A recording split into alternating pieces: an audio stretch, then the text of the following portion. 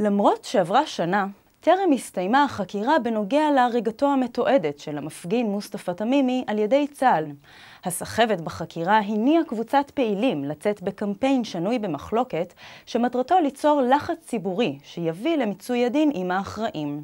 הסחבת בחקירת הפרשה לא הטרידה את הפרקליטות, אך מובילי הקמפיין דווקא כן. לכן היא המליצה למשטרה לפתוח בחקירה פלילית נגדם. אך האם יש בסיס ראייתי לפתיחת החקירה?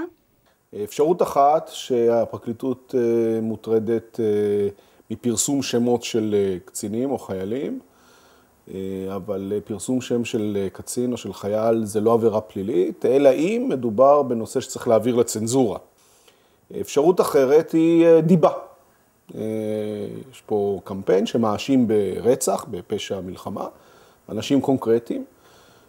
והוצאת לשון הרע יכולה להיות גם עבירה פלילית. בדרך כלל משאירים את נושא הדיבה לנפגע. הנפגע יכול להגיש תביעה אזרחית לפיצויים. לא יוזמים בדרך כלל, לא שלא בדרך כלל, אלא אף פעם, אני לא מכיר כזה מקרה. מה נשאר לנו? נשאר לנו אה, אה, אה, פגיעה בחקירה, שיבוש הליכי חקירה.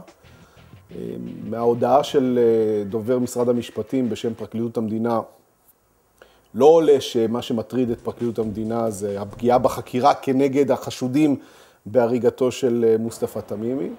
להמלצת הפרקליטות לפתוח בחקירה למרות היעדר הבסיס הראייתי, עלולות להיות השלכות חברתיות נרחבות.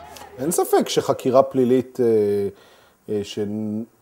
שעילתה היא ביטוי,